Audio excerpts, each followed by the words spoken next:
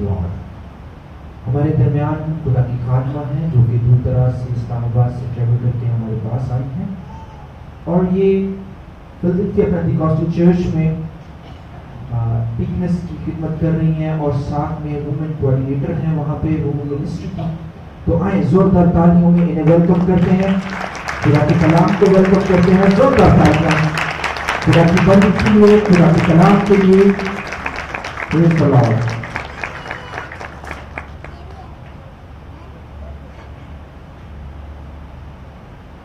Thank you pastor साहब सबसे पहले आप सबकी खिदमत सलाम हालेलुया सबसे पहले शुक्रगुजारी करती हूँ खुदा सलूस की जिसका तजर्बा मकाशफा मेरी और आपकी ज़िंदगी में काम करता है। और शुक्रगुजारी करती हूँ अपने बुज़ुर्ग, पास्टर असमत के सारे चर्च कबीना की और सारे खूबसूरत लोगों के लिए खुदा की शुक्रगुजार हूँ कि आज आप खुदा के कलाम को सुनने के लिए यहाँ पर मौजूद हैं। खुदा का शुक्र हो कि एक दफ़ा फिर उसने मुझे मौका दिया है कि मैं आपके साथ मिलकर खुदा के कलाम को सीख सकूँ। आइए एक मिनट के लिए मेरे साथ आँखें बंद कीजिए। खुदा बाप तेरा शुक्र करती हूँ। अपने आप को खुदा रूह तेरे हाथों में देती हूँ। तो जो मेरी सारी कमज़ोरी में मेरा ज़ोर और मेरी कुवत है, आ आज मेरी मदद कर। ताकि मैं लाइव तौर पर खुदा तेरे कलाम को तेरे लोगों के साथ शेयर कर सकूँ।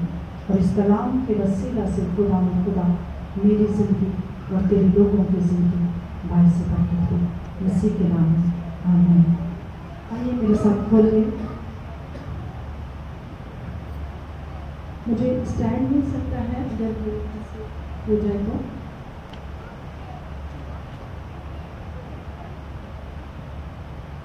आइए खुदा के कलाम में से मेरे खोलिए। बाइबल मुकदस की पहली किताब, पैदाइश की किताब, उसका बाईसवा बाब और उसकी पहली आयत से लेकर हम उसकी उन्नीस आयत तक खुदावन के कलाम में से पढ़ेंगे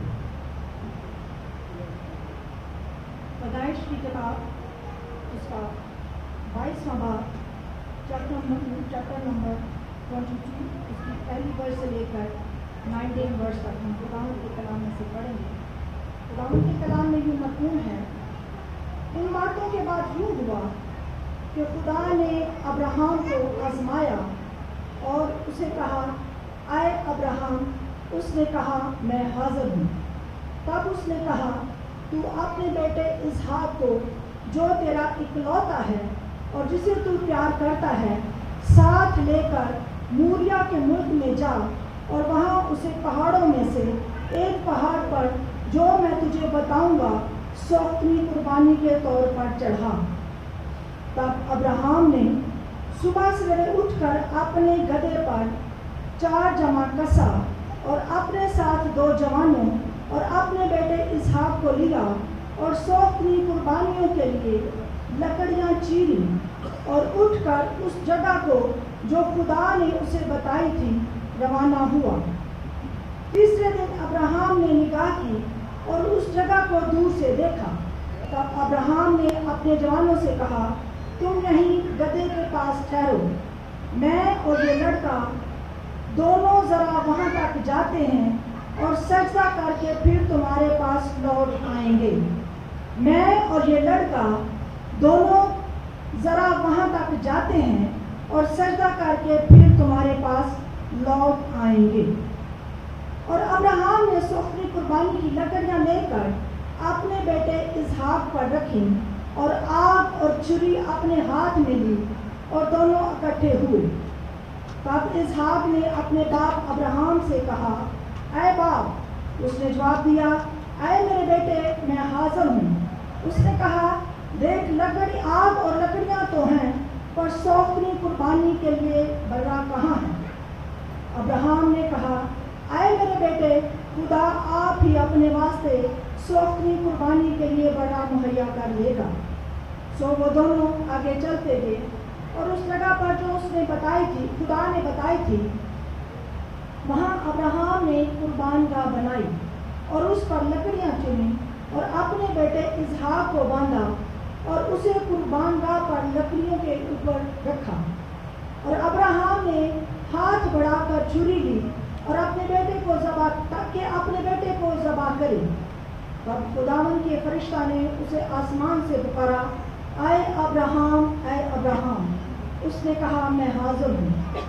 फिर उसने कहा तो अपना हाथ लड़के पर ना चला और ना उससे कुछ कर, क्योंकि अब मैं जान गया कि तू खुदा से डरता है, इसलिए कि तूने अपने बेटे को, जो तेरा इकलौता है, मुझसे दरेग ना किया। और अब्राहम ने निकाह की और अपने पीछे एक मेढा देखा जिसके सीन झाड़ियों में अटके थे। तब अब्राहम ने जाकर उस मेढे को पकड़ा और अपने बेटे के बदले सौतनी कुर्बानी के तौर पर चढ़ाया। और अब्राहम ने उस मकाम का नाम यहोवा यरी रखा, क्योंकि आज चुनाचे आज तक ये कहावत है, खुदावन के पहाड़ पर मुहैया किया जाएगा। और खुदावन के फरिश्ता ने दोबारा अब्राहम को पुकारा और कहा, खुदावन फरमाता है क्योंकि तूने ये काम किया और अपने बेटे को जो तेरा इकलौता है दरेक ना रखा। और इसलिए मैंने भी अपनी जात की कसम खाई है। मैं तुझे बरकत पर बरकत दूँगा और तेरी नस्ल को बढ़ाते बढ़ाते आसमान के तारों और समुद्र की रेत की मान कर दूँगा और तेरी औलाद तेरे दुश्मनों के फाटक की मानी होगी। और तेरी नस्ल के वसीला से सब कौमें बरकत पाएँगी। क्योंकि तेने तूने मेरी बात मानी। और तेरी नस्ल के वसीला से सब कौमें बरकत पाएँगी क्योंकि तूने मेरी बात मानी। तब अब्राहम अपने जवानों के पास लौट गया और वो उठे और इकट्ठे बैठ सभा को गए और वहाँ अब्राहम बैठ सभा में रहा। खुदाउन के पाक पड़े जाने पर और खुदाउन का इस पर हमें अमल करने का हमेशा हम पर बरकत और फजल होती रहे। आमीन। अजीजों इस कहानी का हिस्सा जो आज हमने पढ़ा है, ये हम बचपन से सुनते आए हैं कि अब्राहम ने किस तरह अपने इकलौते बेटे इसहाक को खुदावन की हजूरी में गजराना। आज का कलाम जो है, खुदावन ने मुझे दिया, ये पिछले कलाम से रिलेटेड है। खुदावन के खादम पास्टर इरफान। पास्टर इरफान साहब ने पिछली दफ़ा हमें खुदा के कलाम में से सिखाया कि खुदा कैसे परस्तार ढूंढता है, जो रूह और सच्चाई से खुदा की प्रस्तिश करे। खुदा ऐसे परस्तार ढूंढता है, जो रूह और सच्चाई से खुदा की प्रस्तिश करे। और खुदा के खातों ने बड़ी खूबसूरती से बताया कि किस तरह हम साजों, आवाजों के साथ, सच्चाई के साथ, रूह के साथ, पूरे दिल के साथ खुदावंद अपने खुदा की क्या कर सकते हैं? प्रस्तिश कर सकते हैं। और आज जो खुदा का कलाम खुदा ने मुझे आपके साथ शेयर करने के लिए दिया है, वो है कि उस प्रस्तिश के साथ और कितने लवाजमात का होना ज़रूरी है दिल से प्रस्तिश करना नहायत शादमानी की बात है रूह से प्रस्तिश करना नहायत शादमानी की बात है क्योंकि खुदावन ऐसे ही परस्तार ढूंढता है आज हम देखेंगे और खुदा के कलाम के इस हिस्सा में से सीखेंगे कि किस तरह खुदा को और भी हमारे लिए जो है हम किस तरह खुदा की प्रस्तिश कर सकते हैं और कौन कौन से एहतमाम के साथ हम खुदा की प्रस्तिश कर सकते हैं एक लफ्ज जो हमने खुदा के कलाम में से पढ़ा अब्राहम ने जो नौजवान जो नौकर उसके साथ थे उनसे कहा कि तुम यहाँ ठहरो मैं ये लड़का दोनों क्या करके आते हैं? जरा आगे करके आते हैं प्रस्तिश करके आते हैं घुटनों को टेक कर आते हैं। घुटनों को टेकना सजदा करना, खुदा की हजूरी में नहायत ही मकबूल बात है। और ये लफ्ज जो यहाँ पर सजदे के लिए अबरानी वर्ड यूज़ किया गया है, उसका मतलब है शाखा और उर्दू में इसको इस तरह से ध्यान किया गया है कि घुटनों पर टेक कर अपने माथे को यहोवा खुदा के सामने मुकम्मल तौर पर टेक दे या अपने आप को मुकम्मल तौर पर खुदावन की हजूरी में क्या है अडेल दे खुदा का बंदा अब्राहम अपने नौकरों से कहता है कि तुम यहाँ पर ठहर जाओ और मैं और मेरा बेटा, हम जो सच्चे खुदा की प्रस्तिश करते हैं, हम क्या करते हैं? खुदा के सामने अपने आप को क्या करते हैं? उमेल कर वापस आते हैं खुदा की हजूरी में प्रस्तिश करना अमेलना गाना बजाना खुदा की हजूरी में शादमानी के साथ अपने आप को खुदा की हजूरी में पेश करना प्रस्तिश है और अबरानी वर्ड शाखा है और प्रस्तुत करने के लिए अब्राहम को कुछ एहतमाम भी करना पड़ा जब खुदा ने उससे कहा खुदा ने उससे कहा कि अब्राहम अपने बेटे को जो तेरा प्यारा है जो तेरा इकलौता है उसको क्या कर मेरे लिए कुर्बान कर दे मेरी नज़र कर दे सौतरी कुर्बानी के लिए दे दे तो ये एक मुश्किल काम था आप पेरेंट्स अगर अपने अपने दिल पर हाथ रख के बताएँ अपने बच्चों की कोई तकलीफ़ बर्दाश्त कर सकते नहीं बर्दाश्त कर सकते। और वो शख्स जिसने सालों साल उस बेटे का इंतज़ार किया जिसने सालों साल खुदा के उस वादे का जो बेटे के सबब से खुदा ने उसके साथ किया था इंतज़ार किया हो और जिसने उसका बचपन देखा हो जिसने उसकी नौकरी देख रहा हो उसको कहा जाए कि अपने बेटे को मेरे लिए कुर्बान कर दे तो कितना मुश्किल फैसला है लेकिन खुदा का बंदा कहता है मैं और मेरा बेटा अपने आप को खुदावन की हजूरी में अंडेल कराते हैं उसकी प्रस्तिश करके आते हैं अगर आज के ईमानदार को कोई कुर्बानी देनी पड़ जाए तो बड़ा मुश्किल है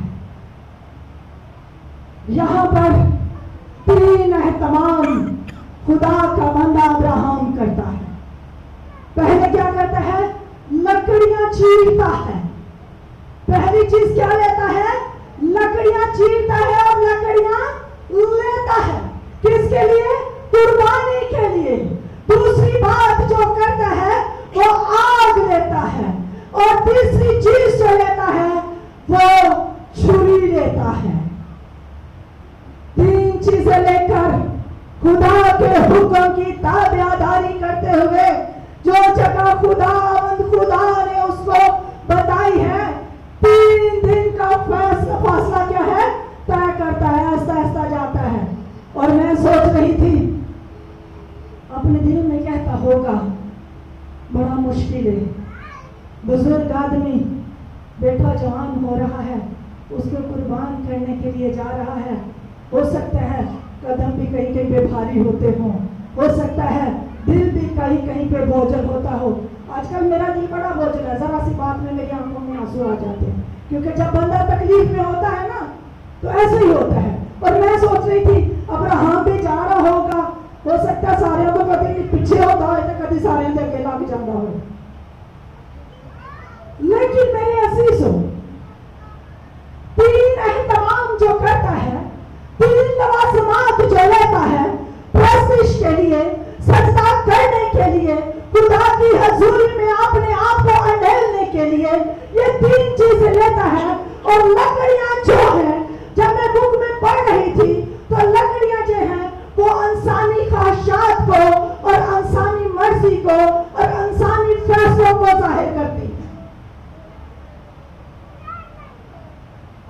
जो छुरी है वो खुदा के कलाम की तलवार को ज़ाहिर करती है और आग जो है वो पाखरू की आग को ज़ाहिर करती है खुदा का बंदा अब्राहम सबसे पहले लकड़ियाँ लेता है अपनी मर्ज़ी को खुदा की हजूरी में अंधेरता है कहता है खुदा तूने मुझसे बेटा मांगा है उसने जाकर अपनी बीवी से कोई सलाह मशवरा नहीं किया उसने किसी और से भी सलाह मशवरा नहीं किया बल्कि ताबेदारी करते हुए वफादारी करते हुए अपनी खुदावन की मर्ज़ी को अपनी मर्ज़ी मानते हुए खुदावन की राह पर चल पड़ा है और कभी ऐसा होता है कि हम खुदा की मर्ज़ी को, मर्ज़ी पर अपनी मर्ज़ी को थोपना चाहते हैं। खुदा ने क्या बेटा कुर्बान कर दे तो अब्राहम ने बेटा ही लेकर गया। अगर कभी कभी हमें कोई पर्सनल चीज़ के लिए कुर्बानी देनी पड़ जाए ना सड़क बहुत सारे एक्सक्यूज हैं हमारे पास बहुत सारे आजकल के ईमानदार, मैं समझती हूँ, अब्राहम को वैसे ही ईमानदारों को बाप नहीं कहा गया। क्योंकि वो नहायत वफादारी से, खुदा की हजूरी में डरते हुए ईमानदारी से खुदा की हर मर्ज़ी को अपनी ज़िंदगी में बचा लाया। और ज़रूरी है कि आज का ईमानदार भी हालात चाहे कैसे भी हो मुश्किल चाहे कैसे भी हो खुदा की को, अपनी लकड़ियों को, अपनी सोचों को, अपने ख्यालात को खुदावन की हजूरी में अंडोल दे ले आए क्योंकि जब हम अपनी मर्ज़ी को अपने ख्यालात को अपनी वजूहत को अपने एक्सक्यूजेस को अपनी बहुत सारी बातों को जो खुदा की मर्ज़ी के खिलाफ होती है खुदा के ताबे नहीं करते खुदा यीशु मसीह की सलीब पर इंसानी रगबतों को नहीं खेचते तब तक हम पूरे तौर पर अपने आप को खुदा की हजूरी में अंडेल भी नहीं सकते और उसकी प्रस्तुश भी नहीं कर सकते पालूस रसूल कहता है कि मैंने अपनी सारी इंसानी रगबतों को किस पर खींच दिया है मसीह की सलीब पर खींच दिया है इंसान होते हुए बहुत मुश्किल है इंसान होते हुए बहुत मुश्किल है क्योंकि कभी कभी ऐसा होता है मैंने एक पास्टर साहब से मेरे बुज़ुर्ग पास्टर हैं पास्टर सीसल मेरे रिश्तेदार भी हैं सुसर लगते हैं मेरे रिश्ते में उन्होंने एक बात मुझे एक दफ़ा कही उनका एक बेटा था वो जब पैदा हुआ और वो बच्चा नहीं रोया और ना रोने की वजह से उसके ब्रेन को ऑक्सीजन नहीं मिली और वो मेंटली तौर पर मजूर हो गया। चौबीस साल के बाद उस बच्चे की डेथ हो गई। एक दिन जब ऐसे ही मुझे बड़ा अच्छा लगता है कि खुदा के खादमों के कदमों में बैठ कर सीखूं। पास्टर साहब भी उनको जानते हैं, पास्टर सिसर को एक दिन हमारे घर आए तो मैंने कहा कि अंकल जी मुझे बताएँ आपने किस तरह यीशु को कबूल किया और किस तरह आपने यीशु के साथ ज़िंदगी गुजारी? उन्होंने कहा, बेटा, यीशु हमेशा ही मेरे साथ ज़िंदगी गुजारता रहा। मेरा बेटा पैदा हुआ। डॉक्टर ने कहा कि ये बच्चा नहीं बचेगा। मैं एक बात भूल गया। मैंने कहा, यीशु ज़िंदगी देता है और मैं यीशु से उसकी ज़िंदगी माँगता रहा माँगता रहा माँगता रहा। और खुदा ने मुझे उसकी ज़िंदगी दे दी। लेकिन खुदा की मर्ज़ी नहीं थी कि खुदावंद उस बच्चे को ज़िंदा रखता। खुदावंद ने अपने बंदा के अल्फाज की लाज तो रख ली, लेकिन उस ज़िंदगी का बोझ मैंने 24 साल तक अपने कंधों पर गुजारा। कहता, उस वक्त मुझे समझ आ गई कि मुझे ये कहना चाहिए था, खुदावंद बच्चे की और मेरी ज़िंदगी में अपनी मर्ज़ी को पूरा कर। मेरे ऐसे जब आप दुख में हो, तकलीफ़ में हो, खुशी में हो, मुसीबत में हो हालात चाहे जैसे भी हो, कोशिश यही करें कि आप मसीह ईमानदार होते हुए अपनी लकड़ियों को खुदावन की हजूरी में चीर कर लाए, काट कर लाए, ताकि आपकी मसीह में, आपकी लकड़ियों में खुदा की मसीह पूरी हो। और जब खुदा की मसीह पूरी होती है तो इस हाथ जैसे भी ज़िंदा खुदा के दूरी से लौट आते हैं। हालेलुया।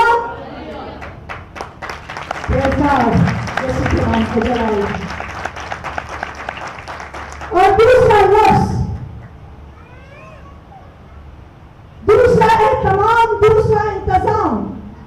जो खुदा के बंदा अब्राहम ने खुदा की हजूरी में प्रस्तुत करने के लिए, सिजदा करने के लिए, अपने आप को अंधेरने के लिए जो दूसरा एहतमाम किया, वो था छुरी। छुरी थले को नहीं होना चाहता। ऐसी बात है ना?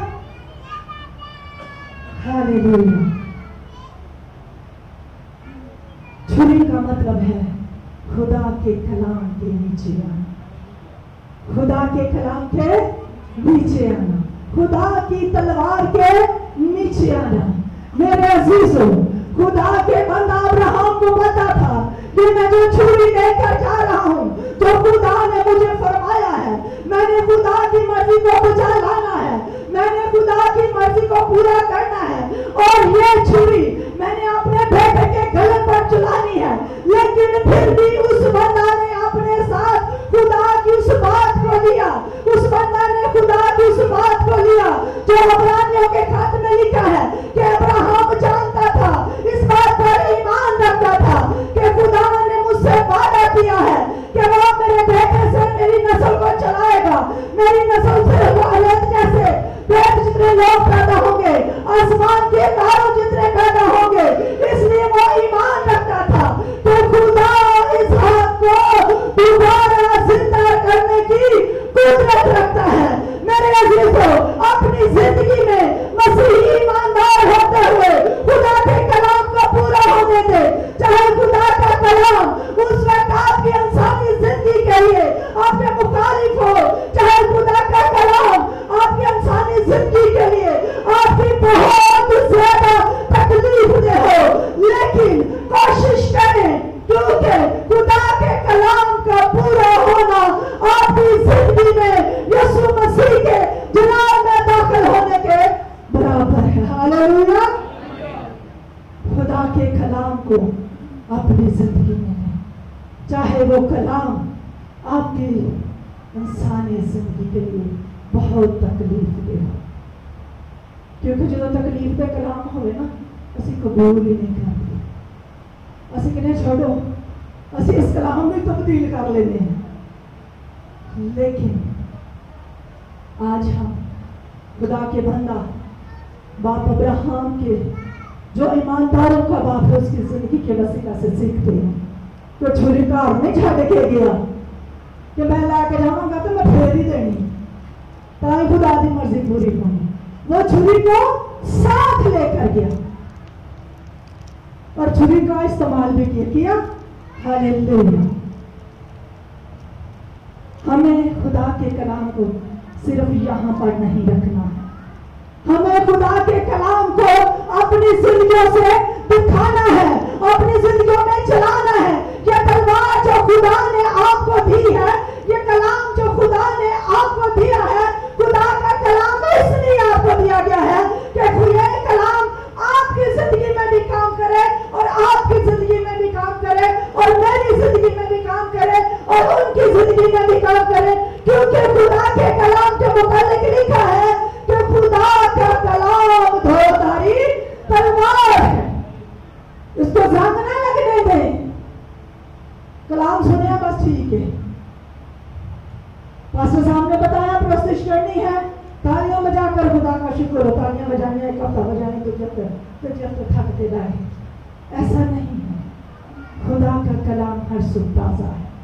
नोहा की किताब में लिखा है, खुदा का कलाम हर सुबह ताज़ा है। और जो ताज़ा होता है, ताजगी बख्शता है। ऐसा ही है ना? और जो बासी होता है, वो गुनूदगी भी बख्श देता है और बीमारी भी बख्श देता है। खुदा का काम हर सुबह ताज़ा है और खुदा का कलाम जो है वो ताजगी बख्शता है और खुदा का कलाम जो है, वो खून रेजी भी करता है।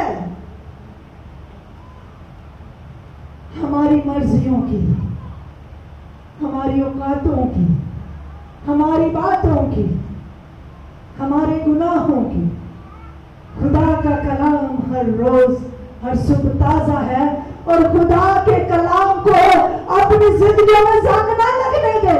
क्योंकि खुदा का कलाम नहीं जंगता था, लेकिन जिंदगियाँ जो है, वो जंग खा जाती हैं। इसलिए हर रोज खुदा के कलाम की छुरी के पीछे आया करें। हर रोज बिना नागा क्योंकि जब खुदा के कलाम की छुरी के नीचे आते हैं तो फिर ज़िंदगी पाते हैं। इसहाक खुदा ने कलाम ने छुरी थले आया तो ज़िंदगी पाई ना? क्यों पाजी साहब उसने ज़िंदगी पाई और जो भी खुदा के कलाम की छुरी के नीचे तलवार के नीचे आता है और रोज कोशिश करें जब आप खुदा के कलाम को पढ़ते हैं, उसमें से एक आयत को हर रोज अपने लिए निकाल दिया करें कि आज की ये आयत, ये कलाम खुदा ने मुझे दिया है।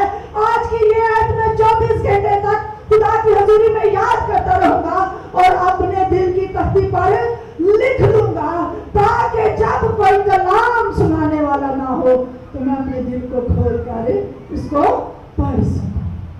हालेलुया तीसरी बात जो हम खुदा के कलाम से सीखते हैं। जो खुदा का बंदा अब्राहम बड़े अहतमाम के साथ लेके गया, वो थी आग। ईमानदार के पास आग का होना बहुत ज़रूरी है। हालेलुया। ईमानदार के पास आग का होना बहुत ज़रूरी है। केड़ी आग है जेड़ी चूल्हे च बाल रही है। पाक रूह की आग हमने सीखा प्रस्तिश के लिए, खुदा कैसे परस्तार ढूंढता है? जो रूह और सच्चाई से, जो आग पात्री की आग से और सच्चाई से खुदा की प्रस्तिश करते हैं, वही परस्तार खुदा को पसंद आते हैं और उन्हीं परस्तारों को खुदा ढूंढता है। और यहाँ पर भी खुदा का बंदा खुदा का कलाम भी हमारे पास है। खुदा की मर्ज़ी को भी हम अपनी ज़िंदगी में पूरा करते हैं। लेकिन इन सबको पूरा करने के लिए हमारे पास पाक रूह की आग का होना बहुत ज़रूरी है।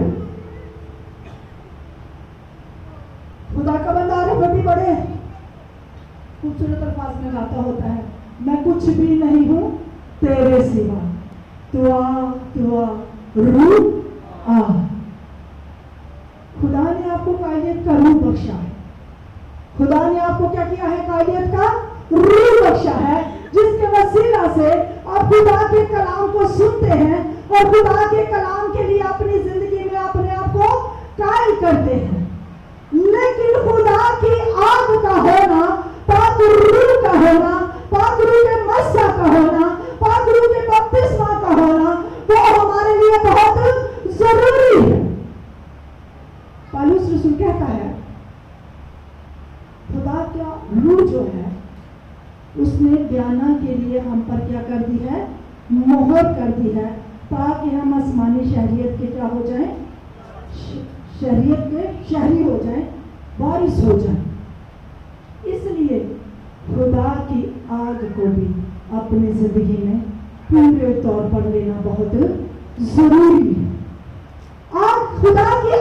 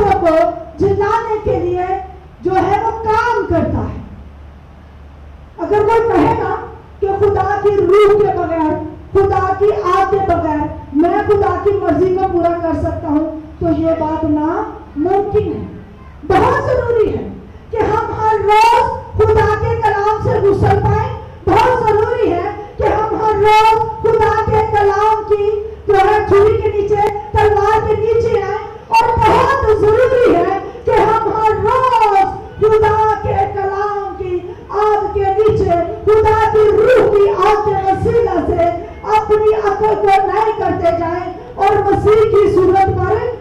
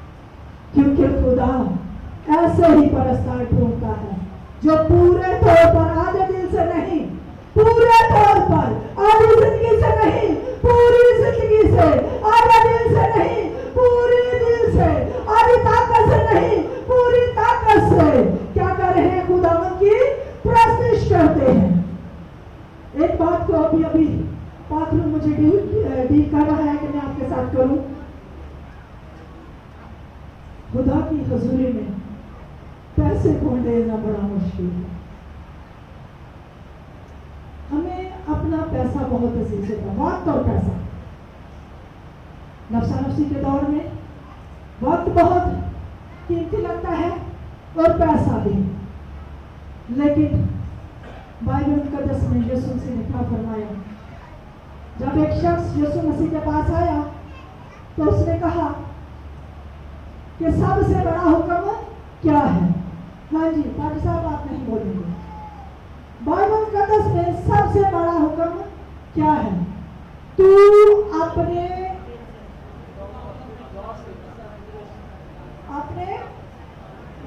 ऊँची आवाज़ बोले, सारे लोग हैं अपने सारे दिल अपनी सारी जान अपनी सारी अक्ल और अपनी सारी ताकत से खुदावंद अपने खुदा से मोहब्बत रख। खुदावंद अपने खुदा की प्रशिश कर। खुदावंद अपने खुदा की हजूरी में अपने आप को अंडे। खुदावंद अपने खुदा की हजूरी में घुटनों को टेक अपने माथे को टेक पूरे दिल से, पूरी जान से, पूरी ताकत से, पूरी अक्ल से, और पूरी दौलत से भी। पैसा देना बड़ा मुश्किल है, कमाना भी बड़ा मुश्किल है, ये भी बात है। लेकिन खुदा उनकी हजूरी में जमा करें। अब्राहम ने एक बेटा कुर्बान करने के लिए खुदा उनकी हजूरी में दिया, और अभी हमने पढ़ा हमने नोटिस किया कि दो आयात जो है, मैंने दो दो बार पढ़ी। दो आयात जो है मैंने दो दो बार पढ़ी अब्राहम ने कितने बेटे खुदावन की हजूरी में दिए एक बेटा और खुदा का उस बेटे के इर्द उसकी बरकत को सुनिए और लिखा है सत्रह आय, आयत में मैं तुझे बरकत पर बरकत दूँगा और तेरी नस्ल को बढ़ाते बढ़ाते आसमान के तारों और समुद्र के किनारे की रेत की मानिंद कर दूँगा और तेरी औलाद अपने फाटक के अपने दुश्मन के फाटक की मालिक होगी और तेरी नस्ल के वसीला से ज़मीन की कौमें दुनिया की पाएँगी बरकत पाएँगी देखिए, जब हम प्रस्तिश करते हैं तो उस प्रस्तिश का अजर कितना बड़ा है। ये तो पुराने ऐतनामे की बात है। लेकिन जब हम यीशु मसीह के मुताबिक खुदावंद खुदा के ऐसे परस्तार बन जाते हैं, जो रूह और सच्चाई से खुदावंद अपने खुदा की प्रशिश करते हैं तो फिर हम अपने खुदावंद यीशु मसीह के वसीला से, खुदा के बेटे यीशु के वसीला से आसमानी शहरों के मकामी बन जाते हैं। आसमानी शहरों में दाखिल होने के काबिल बन जाते हैं। हम पर बहादुरों की मोहर लग जाती है। हम रास्तबाज ठहर जाते हैं। ना वक्त ज़मीन की बरकतें, बल्कि आसमान के दृश्यों को भी खोल देता है। और ना वक्त ज़मीन की बरकतें बल्कि हम जहाँ पर मेरा और आपका महबूब रहता है, उसके साथ, उसके पास बैठने के काबिल हो जाते हैं। हालेलुया। मेरे जी अपनी